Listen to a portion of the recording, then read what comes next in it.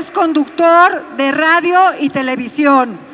Nació el 17 de marzo de 1962 en la Ciudad de México. Es licenciado en Relaciones Industriales, egresado de la Universidad Iberoamericana. Perteneció a las Fuerzas Básicas del Atlante. Posteriormente, incursiona en los medios de comunicación como creativo locutor de WFM. En enero del 2007, Esteban inicia una nueva etapa en su carrera al frente de Matutino Express, en el canal 4, el cual se transmite hasta la fecha por Foro TV. En el año 2012, Esteban llega a Imagen Radio con 52 minutos de las 16 a 17 horas. Actualmente está en Imagen Informativa, tercera edición en Radio Imagen, de 6 y media a 8 de la noche. Está casado hace 30 años con Nieves Santiesteban y tiene tres hijos. En febrero de este año recibió el Premio Nacional de Periodismo por su labor como gran defensor de la familia y de la vida. Ven, vamos a dar una calurosa bienvenida a Esteban Arce. Buenas, buenas tardes. Buenas tardes, gracias por la invitación. Gracias por estar aquí en viernes, en viernes tan complicado. Me imagino que el tráfico no va a ser fácil. Bueno, muchas gracias por la invitación. De verdad les digo que es eh, pues muy difícil estar en viernes, eh, un día tan complicado de quincena, donde hay muchas actividades, y, pero yo creo que bien, la, bien vale la pena, este, bien vale la pena porque estamos festejando, conmemorando los 100 años de Fátima, un acontecimiento que marcó al mundo, a un mundo convulsionado en su momento, pero que hoy nos está dando, le está dando la razón a Fátima todo lo que está pasando. Y cuando me invitaron, de verdad me hizo mucho sentido y creo que pues, un pequeño testimonio mm, para igual ayuda para, más o menos eh, hagan lo, lo, contrario a lo que yo hice durante toda mi vida, entonces a lo mejor puede ayudarlos en algo. Es decir, los testimonios aquí no son maneras, no son ejemplos, únicamente son muestras de cómo Dios actúa en las personas y cómo actúa en mí, este, pues es de una manera bastante peculiar. Yo siempre he dicho, y lo sigo, lo sigo sosteniendo, que para encontrar a Dios lo tienes que encontrar de dos maneras, racional y espiritual. La manera racional de encontrar a Dios incluso puede ser de manera matemática. Hay un, el más grande matemático ruso, es, es católico, este, ortodoxo, ha ganado todos los premios. Él, eh, no recuerdo ahorita el nombre, pero ese, ese científico ruso hizo en un mes lo que 20 universidades en Estados Unidos no pudieron demostrar. Son complejas eh, resoluciones matemáticas y hoy está actuando. A mí me llamó mucho la atención cuando vi que este señor estaba trabajando en un modelo para comprobar la existencia de Dios a través de modelos matemáticos. Yo dije, este sí ya se la fumó, está muy loco, ¿cómo, cómo le va a hacer? Y digo, yo la verdad es que te pones a pensar, cuando termina tu vida infantil, donde te inculcan los valores religiosos y das por hecho todo lo que te han enseñado, a mí yo creía en Dios, creía en la Virgen, creía en todo, es más, creía en cosas que te dicen que hay que creer, y que los niños tenemos que creer y que por ahí de los 14 años te dicen que no, que siempre no, que no existe. Como pues, fantasías, alegorías y ese tipo de cosas que no las digo porque no va a haber un chavo aquí y me queme. Pero al mismo tiempo que te dicen, no hombre, esto no existe, te dices, bueno, y entonces, ¿qué es lo que me enseñaron que sí existe? Yo me puse a pensar desde, desde esa edad, que serían los 10 años, hasta los 25, la única manera de conservar mi fe fue a través del método de racionalidad. ¿Cómo es pensar que existe Dios, Jesús, la Virgen y los santos de manera racional? Pues de manera racional yo me puse a ver un día, me encantaba ver los programas de Cosmos y me doy cuenta que hay más de 100 mil millones de galaxias. Dije, 100 mil millones de galaxias. Y hay, en cada galaxia hay 300 mil millones de estrellas.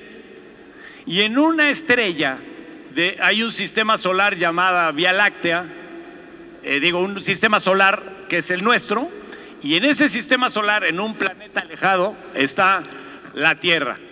La Tierra, bueno, ahí ya me empecé a confundir, dije, a ver, si hay tantos miles de millones de soles y de galaxias combinados, ¿por qué estamos aquí? ¿Por qué existe el planeta Tierra y por qué tenemos esta realidad que tenemos? Entonces yo dije, bueno, cuando menos Dios, alguien lo hizo.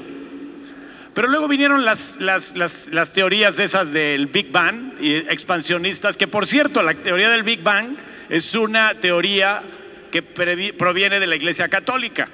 Eh, un, cura de nombre Lemaitre fue quien entiende que la expansión del universo es una obra real y luego la agarraron como Big Bang y ahora creen que es una obra muy moderna que anula la, mano de Dios en la creación del universo. Pero bueno, yo me puse a pensar si entre tantas millones, miles y millones de, galaxias existe un planeta llamado Tierra. Luego me puse a ver cuántas, cuántos años llevaba de creado el universo. El universo lleva creado, sí, ahí se como que se va. El universo lleva creado 12.500 millones de años. Y la Tierra, como tal, como nuestro como 4.000 millones de años. Si a esto lo multiplicamos y, luego le damos vueltas, caemos en la conciencia de que es muy remoto, era remotísimo, que estuviéramos cuando menos hoy aquí. Es una obra de Dios en medio de tantas distancias, tantas, eh, eh, eh, son, o sea, es la eternidad en distancia, es infinito. Y después hay un planeta pequeño llamado Tierra, y ahí estamos, dije, no, Dios sí existe, claro que existe. Luego, después de 4.500 millones de años, yo dije, bueno, ¿cuántos años lleva el hombre, el hombre sobre la Tierra? El hombre sobre la Tierra lleva nada más 100 mil, el Homo sapiens, 100 mil años. Entonces mi, mi, racionalidad me daba para decir, no, bueno, si entre tantos miles de millones de galaxias, miles de millones de estrellas, de soles, de planetas, existe uno, este lleva 4 mil millones de años, y de apenas de esos 4 mil millones de años, 100 mil, 100 mil apareció el hombre, pero un hombre muy bruto, un hombre verdaderamente eh, salvaje, y es aproximadamente, no aproximadamente, es hace dos mil años, cuando aparece un hombre muy especial, llamado Jesús. Ese hombre llamado Jesús que me enseñaron mis padres. Entonces, cuando menos yo ya sabía que había un Dios. Y luego dije, a ver, vamos a ver, eh, ¿saben cuántos miles de millones de personas han habido en el mundo? Se calcula que hay cientos, ha habido y habemos, más los que se acumulen esta semana, 107 mil millones de seres humanos. De todos esos, dentro de todos esos, hay uno apareció hace dos mil años en una familia humilde, el más pequeño de todos los niños que nace en un pesebre, y a los 33 años de su vida convierte este pequeño planeta llamado Tierra en otro destino. Entonces dije, ese Señor llamado Jesús es de quien más se ha hablado en la historia de la humanidad. De esos 4.500 millones de años que tiene este planeta, del que más se ha hablado es de ese pequeñín que nace en Belén, que tiene una madre y un padre que son gente muy, muy humilde, y a los 33 años cambió este planeta, porque a esos bárbaros, a esas, a esas legiones de personas que habían pasado por la tierra, fue el primero en decir que existía Dios Padre, y Dios Padre, ese Dios Padre, era un Dios benevolente, benevolente, no, eran muchos dioses, no eran dioses que eminentemente castigadores, violentos, no eran dioses a, los cuales había que entregarle a sus hijos, matarlos para tenerlos contentos. Era un Dios de perdón, era un Dios que aglutinaba a todos los seres humanos de la tierra, no escogía un solo un pueblo, no mataba a los que no creyeran en él. Y bueno, a partir de él, a partir de su muerte, él muere y a los, se aparece 40 días. Y aparte se les escapa de su tumba a la guardia pretoriana, a los romanos, se les escapa. 40 días todavía se pasea por Galilea. Y luego nos dice, chao, volveré. Voy a volver. Mira, tú puedes creer o no creer. Lo que sí es difícil es negar que ese hombre, en medio de 107 mil millones de seres humanos, en un planeta que comparte su existencia con cientos de miles y millones de galaxias, no era un ser sumamente especial, el más especial de todos. Y a la hora de su muerte nos dice y le dice a Juan, esa es tu madre. Y esa es tu madre, la Virgen María, que aparece años después, en 1500, creo que 47, aquí, aquí se apareció. ¿Qué hizo de este país la Virgen? La Virgen cambió una, una realidad que vivían unos eh, indígenas conquistados que aparentemente no, no, había manera de reconciliarse con los europeos que venían a evangelizar y, a cambiar la mentalidad, que hacían sacrificios humanos. Y esta Virgen en el momento, en el preciso instante de su aparición, les dice, no más sacrificios humanos, yo ya les regalo el sacrificio de mi Hijo, Jesucristo, aquí lo tienen, cambió. Se empezó a evangelizar, hubo conversiones multitudinarias, no había manera de, poder eh, eh, eh, bautizar a tantos y miles de, de, indígenas que se convirtieron de un día para otro con la simple aparición de la Virgen. Vivimos en un país eminentemente guadalupano y ese país guadalupano todavía encima de todo lo que les he platicado, tiene detractores. Hay quienes no creen en Dios. Entonces seguramente, perdón, seguramente Dios, de nosotros nos hicimos solitos. En medio de la Vía Láctea, de miles de millones de estrellas, el ser humano se hizo solo. Y ahí les va el dato más sorprendente de todos.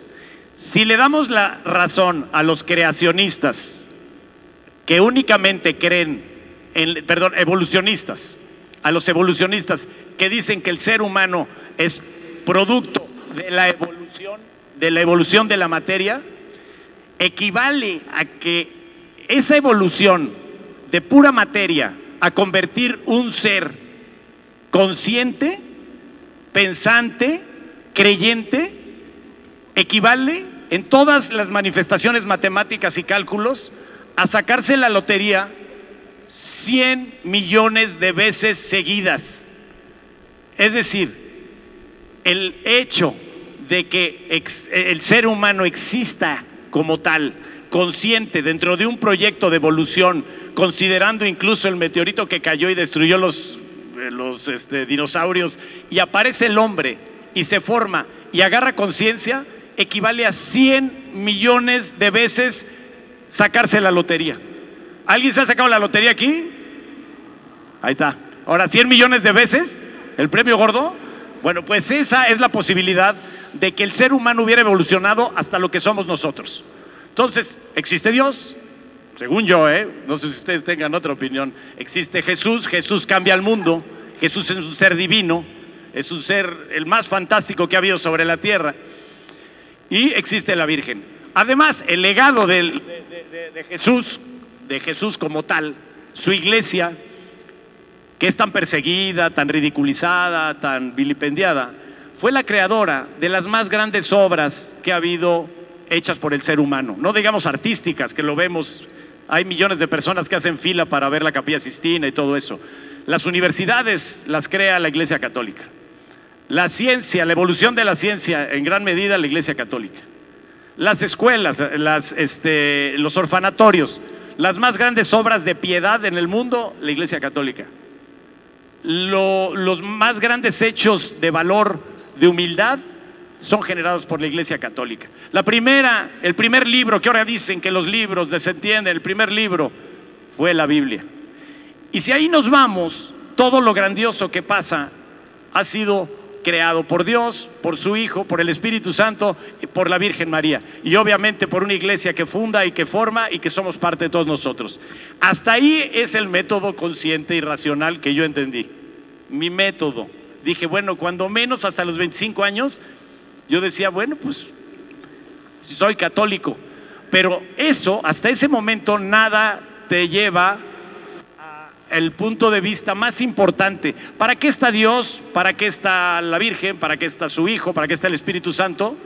Eh, en presencia con nosotros, para salvarnos. ¿De salvar de qué? Salvar nuestras almas.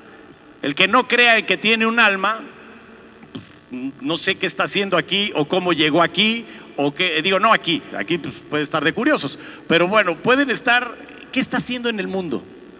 Una persona que vive, ¿saben cuánto vivimos en proporción a lo que lleva el universo? Súmenle 12 ceros, punto 04.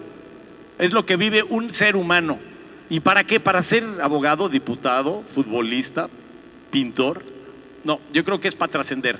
Pero esa trascendencia yo no la entendía y no la, no la conocía. La verdad que me valía reverenda.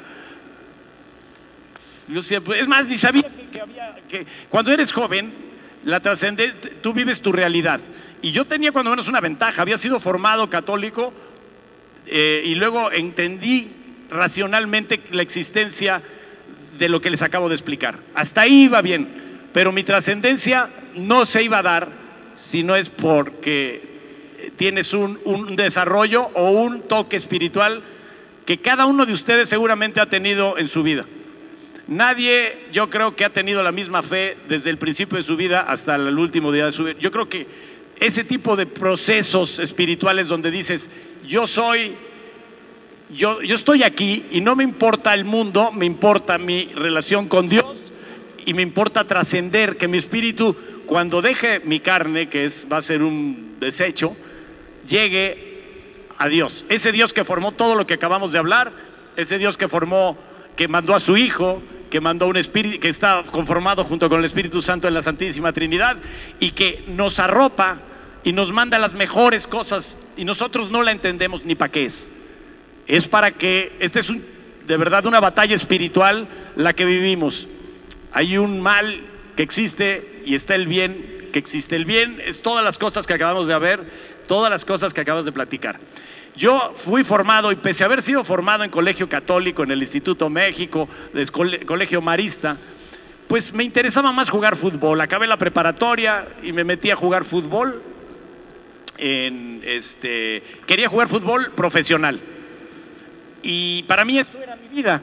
O sea, no había otra cosa más que jugar fútbol profesional. Para eso tuve que hacer un par de trucos y me fui trabajando en un barco de carga me fui a Brasil y Sudamérica, estuve por Brasil, Argentina, Uruguay y luego como unos meses estuve ahí dando vueltas con un proyecto que cuando acabé la preparatoria me servía de formativo, imagínense qué formativo andar en un barco con marineros, pero bueno, según yo era muy entretenido y como no había dinero para unas vacaciones, pues era gratis, te ponían a trabajar, me metí al barco y en vez de formarme me empecé a deformar.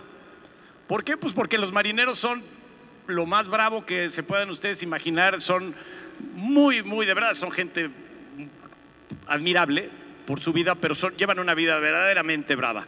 Entonces ahí me, empecé a deformar y ese niño que había sido formado, que salió de la preparatoria en escuela católica, pues empezó a ver cosas que nunca había visto con los marineros.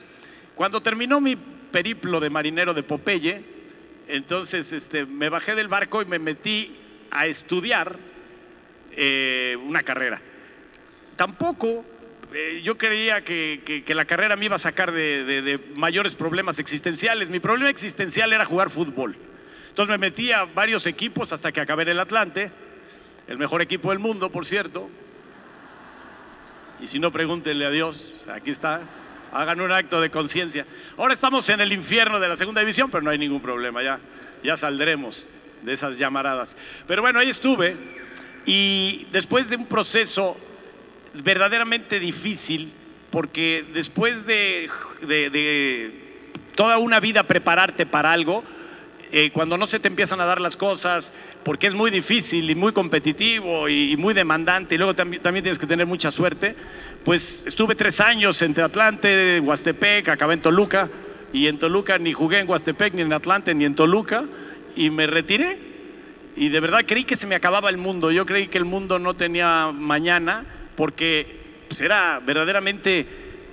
Pues, no, no me arqué porque no tenía una soga.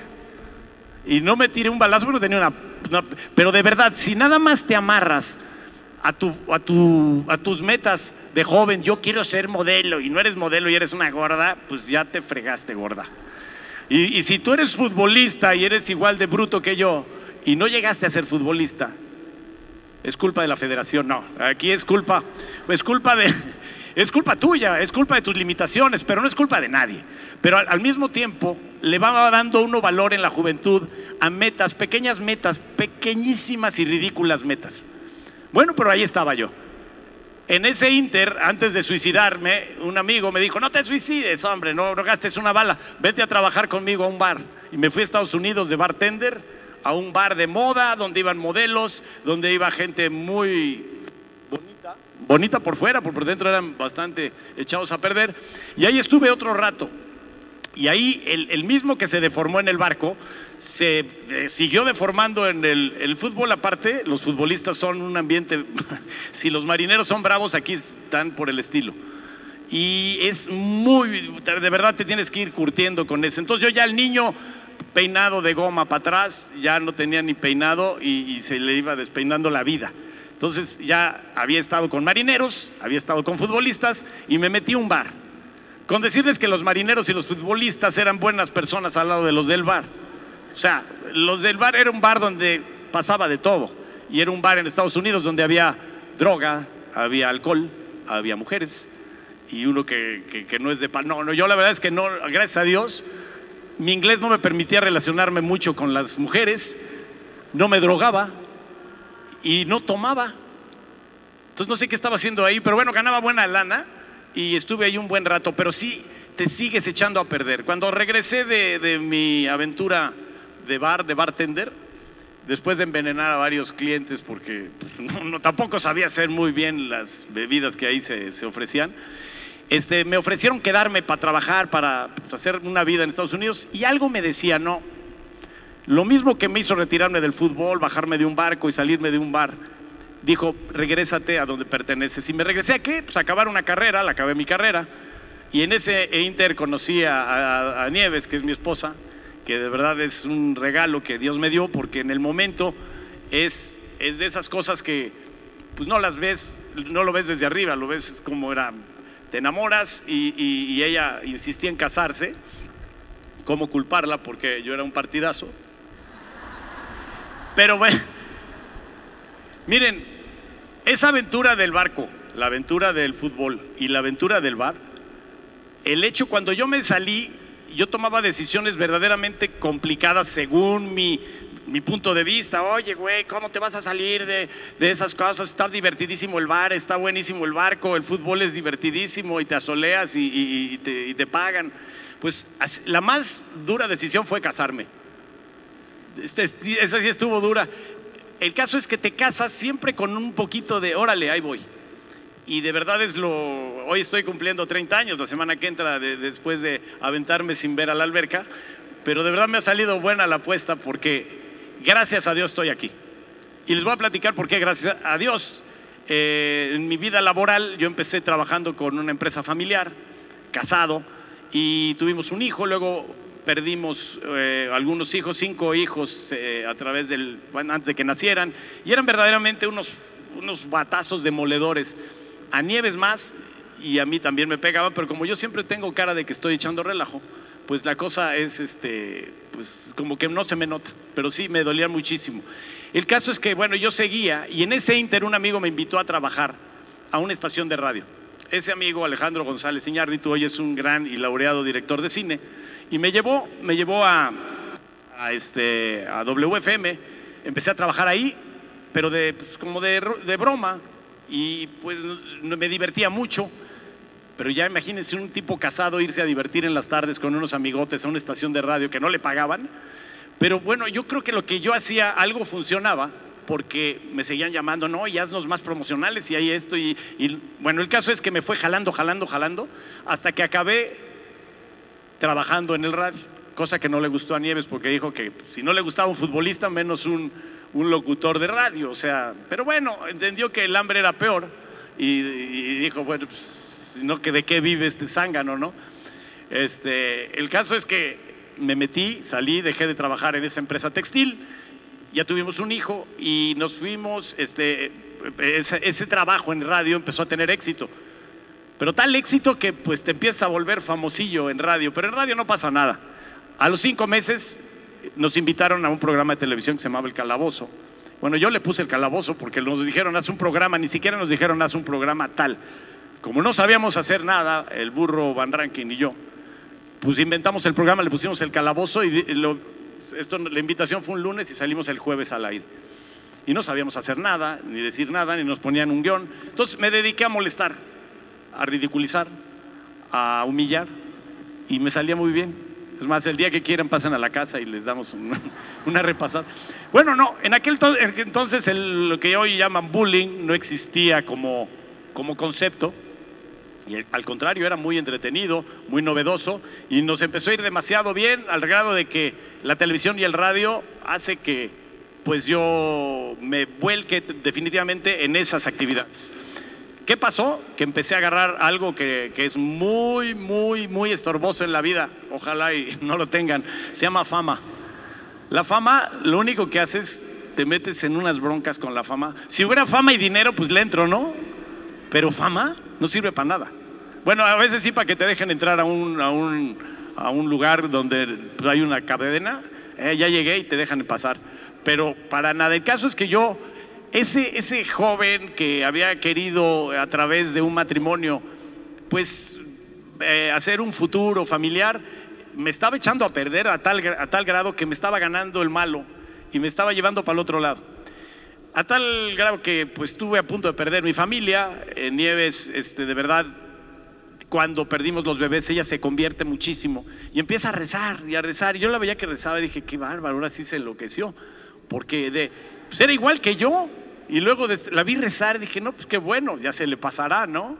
Como si fuera un daño rezar. Y yo la veía que lejos de, de apartarse de la oración, era más y más, y hacia grupos. Y luego, bueno, pues rescata a mi familia, gracias a Dios. Yo recapacité gracias a las oraciones de ella y de mi mamá. Y por alguna razón dije, güey, ¿qué estás haciendo? Yo no sé. Pues sí está muy divertido, pero no, vámonos. Entonces me regresé y le dije, Nieves, este, me están ofreciendo un trabajo en Estados Unidos, en Univisión, y, y, pues yo quiero retomar y quiero echarle ganas y salvar a la familia, ok. Y ella de verdad me toma la palabra y nos vamos a Estados Unidos y a trabajar como asesor creativo de la vicepresidencia Univisión. Y ahí no estaba yo delante de las cámaras, estuvimos un año y cacho. El destino hace que al año y cacho me, me llamen otra vez de Televisa, me vengo para acá. Y Nieves de verdad yo la veía que, que, era otra persona, porque gracias a la oración ella pues jalaba conmigo, pero además pues como que me veía y decía, pobre Dios, o sea, pobre güey, cabrón. Yo también la veía a ella y güey le decía lo mismo, cabrón, o sea, pobre güey. Pero ahí nos veíamos de güey a güey, pero ahí íbamos. El caso es que eh, al año me vuelve en México, me vuelven a llamar de Estados Unidos para ahora otra cadena que se llama Telemundo NBC y de verdad pues me voy, porque aquí el programa que hacía era un desastre, era un programa donde se dedicaba, me dedicaba y se dedicaba el programa a criticar a la gente. Pero bueno, me fui a Estados Unidos y entré a ese proyecto llamado, era un programa peor que el que hacía aquí. Era igual, pero en semi español, que es el, el spanglish que hablan allá. Y estuve ahí, estuvimos cinco años. En esos cinco años, Nieves sí tiene una conversión verdaderamente eh, impactante y empieza a ir a, a, pues a, horas de oración, empieza, y en uno de esos tantos idos y venidas se fue a Medjugorje y regresó. Y yo vi que, que, me presumía, es que Medjugorje está padrísimo. Y le digo, pues aquí está la Basílica de México, está, ahí vive la Virgen, no tienes que ir a Medjugorje y echarle tantos kilómetros al avión llegó fascinada con, con Medjugorje y cuando me tocó renovar contrato, yo, una de las peticiones que me hizo Nieves cuando decidimos echarle muchas ganas, me dijo, pero tienes que ir a la iglesia, tienes que ir a misa. Y de verdad a mí no es de que no me gustara, pero yo me había apartado con una inercia que te vas apartando, apartando. Dije, ah, pues si es ir a la iglesia, pues yo voy. Pues si es, digo, empecé a ir en Estados Unidos y iba, me sentaba yo al fondo, para ver cómo, o sea, nunca se me hizo una cosa extraña, pero nunca entendí lo que era la, Eucaristía, nunca entendí lo que era el sacrificio de la misa. Iba como una cuestión social, yo era el rey de bautizos, primeras comuniones, 20 años, era un, un religioso social y que entendía perfecto, que asumía que existía Dios, Jesús, el Espíritu Santo, la Virgen, los santos y la Santa Iglesia Católica, y yo formaba parte de ella. Pero para el martes ya había roto yo como tres mandamientos y tenía que ir a misa la otra vez. Entonces, no tenía yo idea para qué uno iba a misa. En una de esas idas a misa le pido a Dios, la primera vez que oré con él fue pedir, yo nunca le pedía nada porque me daba hasta pena, de verdad, o sea, que no me hayan atropellado, no me hayan tirado del barco, no me haya muerto en un bar o, donde anduve, que la verdad sí fueron ambientes muy, muy hostiles. Decía yo, con esto yo ya me doy por bien servido, gracias Dios, yo no te pido nada, que te pidan los otros. Hay, hay muchos que van a la iglesia a pedir como si fuera este mercado. Yo los veía y decía, qué cínicos, yo no puedo pedir, de verdad, con la familia que tenía, la esposa que tenía, la salud que tenía y lo de lo que me había salvado, dije, no, ya con esto yo le entro. Pero ese día sí le pedí a Dios, le dije, oye, ¿me quedo a vivir en Estados Unidos o me regreso a México? Dije, pues ahí sí. Y entonces resulta que yo era conductor de premios Billboard y premios de esos de que, que se dan premios como focas y se aplauden. Bueno, pues yo era el conductor. Y ese conductor el segundo o tercer año, ya cuando tenía yo que firmar el contrato, es más, había firmado el contrato y ya le dije, Nieves, nos quedamos a vivir para siempre en Estados Unidos, tu hija se va a casar con un reggaetonero y cállate. No hay de otra, yo también, tampoco tenía trabajo en México. Entonces me quedé en Estados Unidos, firmo el contrato y se me olvidó llevarlo. De esas veces que no lo llevas a recursos humanos por, porque se te olvidó, lo dejé en la mesa. Y al día siguiente me cancelan mi participación en los, como conductor de premios Billboard. Y dije, ese es el mensaje que me mandó Dios. Yo estaba esperando un, un, mensajito para mandar a la fregada todo aquello y regresarme a México. Pero no tenía ni trabajo, no tenía ni dinero, o sea, tenía dinero para el día a día, pero tampoco era millonario. Y cuando me sucede eso, al día siguiente voy y renuncio no lo podían creer. Nadie ha renunciado y menos ahora. Todos se quieren quedar allá. Yo me renuncié y me, regresé. Creo que hay una foto mía en la frontera. Este es el único que se regresó por vía, porque él quiso. Sí, por eso me quiere Donald Trump, porque quiere de ese tipo de mexicanos. Que vayan y se regresen. Bueno, pues yo, me yo le digo, Nieves, le digo, Nieves, ya no tengo trabajo. Haz de cuenta que le dije, me saqué la lotería. Oye, pero si no tengo trabajo. Hola, hello ay, vámonos a México. Bueno, el caso es que tampoco poníamos venirnos a México por unos temas políticos donde me había metido yo. Total, hicimos cuentas y nos alcanzaba para quedarnos dos años y luego regresarnos. Y en eso me, mm, me habla de una producción inglesa que yo nunca sabía ni de su existencia. A los dos días de renunciar y quedarme sin trabajo en Estados Unidos me dicen, ¿sabes qué? Te queremos para que hagas unos programas, pero tienes que ir a grabarlos a México. Eran un programa horrible de castigos. Haz de cuenta que le hacía preguntas a tu hijo y si contestaba mal tu hijo, te daban toques eléctricos a ti en una silla de peluquero. Así era el programa. No es broma, así era. Yo era el conductor. El caso es que les encantó el programa y me dijeron, va, empieza en noviembre y es para otra televisora que no era Televisa. Pero yo dije, pues como ya no estoy en Televisa, vivo en Estados Unidos, vengo, hago mis programas y me regreso y sigo ganándome la vida honestamente, según yo. Y bueno, ¿qué pasó?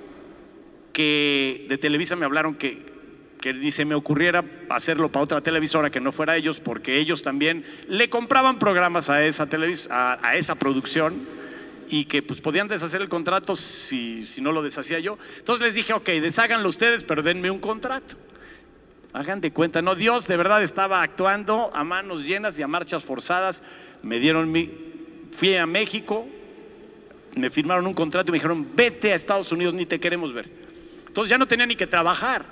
Entonces Dios ahí sí dije, no, bueno, está bien que no te haya pedido, pero no me des tanto. Ya no tenía trabajo, ya no, y, me podía quedar un ratillo ahí en lo que se calmaban las aguas aquí en México. El caso es que cuando le digo, eh, me iba regresando al aeropuerto, fíjense todas las cosas que han pasado renuncié con contrato en mano. Luego me hablan, me ofrecen un contrato superior. Luego también lo tiro ese contrato, me firma Televisa y me manda a Estado, me dice, vete. Y en la ida en el aeropuerto me dicen, oye, ahí renunció, creo que era Broso. Se fue Broso y necesitamos otro payaso. Y entonces, este, vente a hacer un piloto. Hice el piloto y dije, estos pilotos ni salen. Hice el piloto y yo suponía que ¿Cuánto me quedan? ¿15 minutos? Ah, órale, perfecto. Acabo un par de mentiras más y ya nos vamos. Bueno, el caso es que 15, eh, ¿qué 15 Ah, caray. Bueno, el caso es que voy, hago un piloto, lo grabé sin ganas, sin, o sea, con, de esas veces que dices, lo voy a hacer mal para que nadie, para que no le guste a nadie y me dejen allá en Estados Unidos dos años. Lo hice con muy mala gana y les encantó. Qué bueno está. Empezamos en enero. Yo dije, hablé con Nieves, me dijo, sí, en enero, pero ¿qué? Me acompañas a Medjugorje. Dije, órale. Dije, no se enojó. Yo tenía que vivir entre semana en México e irme a, Estados Unidos los fines de semana. A cambio de irme a Medjugorje, bueno, estaba fabuloso. Me llevó a Medjugorje con engaños. Me metió en una peregrinación. Yo creí que iba de viaje a Europa y no, yo estaba en pueblo donde se aparecía la Virgen. Llegué con engaños, les vuelvo a repetir, porque yo no sabía que iba en una peregrinación y todo el mundo me regañaba porque yo no iba, no le hacía caso a la peregrinación. Pero pues ahí estaba yo. El caso es que se fueron a ver, llegamos a Medjugorje, que es horrible, por cierto, no vayan. Como cosa turística no vayan. Como cosa espiritual sí se les recomiendo, pero es bastante piñata. Y llegué ahí, se perdió mi maleta, mi cuarto olía azufre, no es broma, azufre. Pregúntele a Nieves.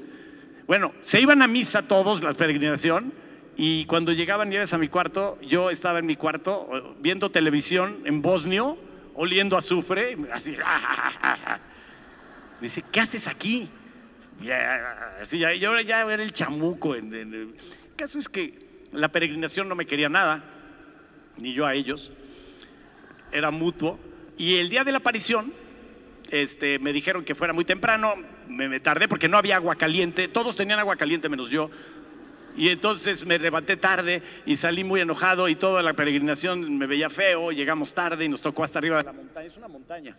La montaña es como 10 mil personas y esperan que se, se aparezca la Virgen. Y, de verdad es que se aparece, pero como a 8 kilómetros allá abajo y en una casa, imagínense la tomada. Pero bueno, ahí iba, eh, yo dije, yo ya, ya Esteban, por favor, cálmate, no tienes ropa, hay agua fría, huele a azufre, todos te odian. Continúa, por favor, paciencia. Esto es el costo de poder hacer tu chamba y ir a Miami y regresar a Miami. Total, yo estaba ahí en la, aparición y en medio de la aparición llegó la vidente y la vidente hace cuenta que llegó Paul McCartney al Estadio Azteca. ¡Ay! Yo dije, uy, qué tomadota de pelo es esta, porque, porque se va a ir a aparecer a una casa que nadie ve. Bueno, bueno, así estaba yo igual, pero viene la aparición y todo se hincan, todo ese bullicio, todo un silencio impresionante. Ahí sí dije, acá, cuando menos están organizados. Todos al mismo tiempo se callaron. Y yo estaba parado, todos hincados y yo parado así, con una cara de perro, esperando el tongo este que se aparecía a la Virgen.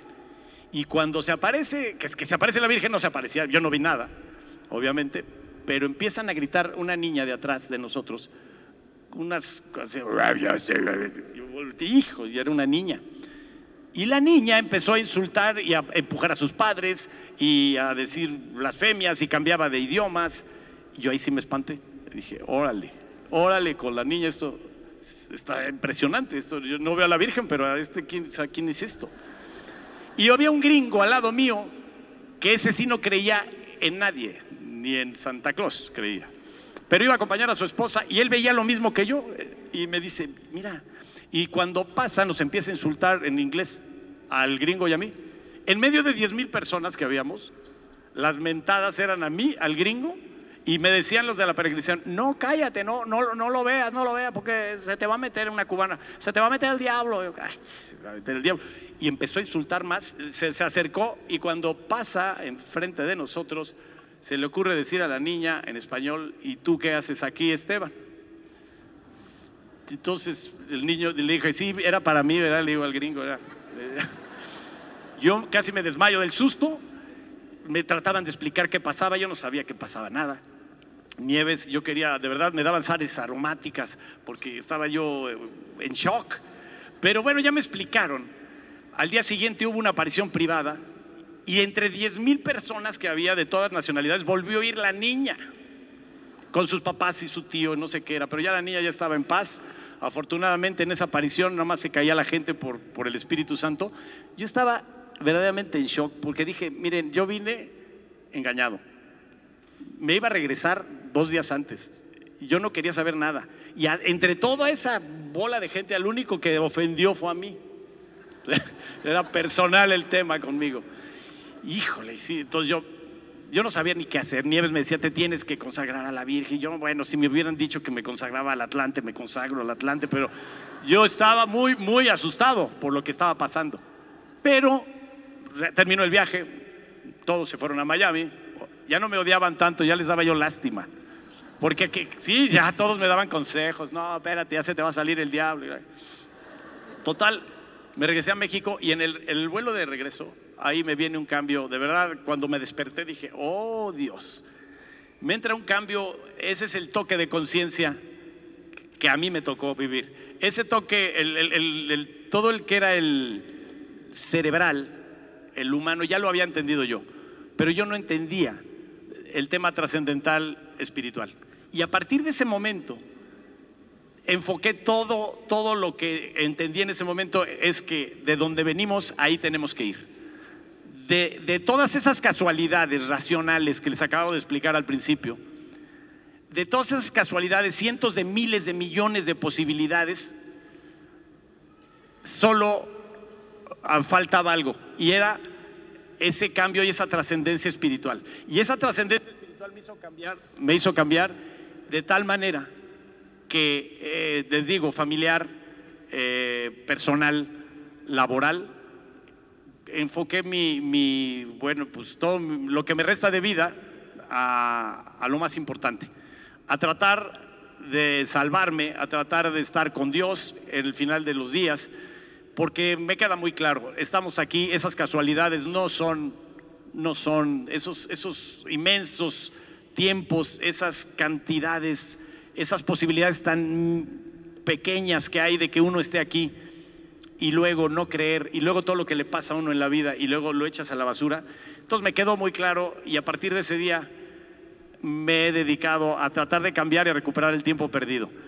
A través de la oración, créanme, es como he podido afrontar todo. ¿Sabes cuándo te das cuenta que sí es por este lado? Cuando tienes un cambio como el que yo tuve, y te empiezan a ridiculizar, a atacar, a tratar de humillar y a tratar de, vencer. Pero se equivocaron. Dios me había puesto con marineros, con futbolistas, en bares y en ambientes verdaderamente peligrosos y me había fogueado y a mí lo que me puedan decir o hacer una persona de verdad me tiene sin cuidado, no tengo ningún problema malo es quedar mal con Dios. Y, todos esos ataques, y se los digo porque seguramente cada uno de ustedes recibió en algún momento de su vida un cambio y hizo esta transformación. Yo no le llamo eh, conversión, yo le llamo búsqueda y encontrar a Dios, porque conversión es, es como cambiar de lo que eras. Y yo tal vez estaba perdido, pero no, no ausente. Sí creo que cuando en tu casa, en tu trabajo, te dicen y mocho y ridículo, es que estás haciendo lo correcto. Yo laboralmente, de verdad, han tratado de afectarme, incluso si me llegaran a afectar no me importa, pero gracias a Dios y Dios nos cuida, nos protege, ha protegido mi labor profesional, a mi familia, a mí en lo particular, he salvado mi familia, mi matrimonio, pero lo más importante es que he podido transmitirles a mis hijos que el camino erróneo era por donde yo andaba y el camino correcto es el camino de Dios. El camino de la Virgen, el camino, la Virgen es la única que va a interceder por nosotros en el momento más importante y ha trascendido en mí. A mí me dio un zape, no pareciéndose ella porque no la vi, pero me puso al malo detrás de mí y eso al final del cuento me hizo reaccionar, abrir los ojos y decir, bueno, las fuerzas del bien y del mal están tal cuales. ¿A dónde te quieres ir? ¿Para allá o para allá? Entonces aprendí a orar, eh, me enseñó Nieves, me han enseñado muchas personas, he tratado de cambiar si no lo han visto últimamente, pues cada eventualmente me, atacan, me sacan periodicazos. Haz de cuenta que yo soy el peor de la televisión mexicana, el hombre más malo, el hombre, habiendo los programas que hay y habiendo los contenidos que hay, creo que no ser, eh, eh, que, es tan obvio que lo que estoy haciendo y los contenidos que presento en favor de la familia, en, favor de la vida, en favor de Dios, en favor de la cultura y la familia cristiana, son los correctos. Si no, no les importaría. Si yo presentara magias, horóscopos y todo, ni me pelaban. Entonces quiere decir que estamos en el camino correcto. De verdad, es, ese es parte de mi testimonio. Hoy tengo una familia maravillosa, Nieves, cumplimos 30 años, tengo tres hijos, tengo menos pelo, pero también mucho mejores este, recuerdos de, todo lo que me ha ocurrido. Y este tipo de testimonios los doy con mucha gratitud porque si Dios me dio la oportunidad de estar y volver ahora sí que a arreglar el camino, pues yo voy a estar con Él donde me mande y donde me ponga. Gracias, muy buenas tardes.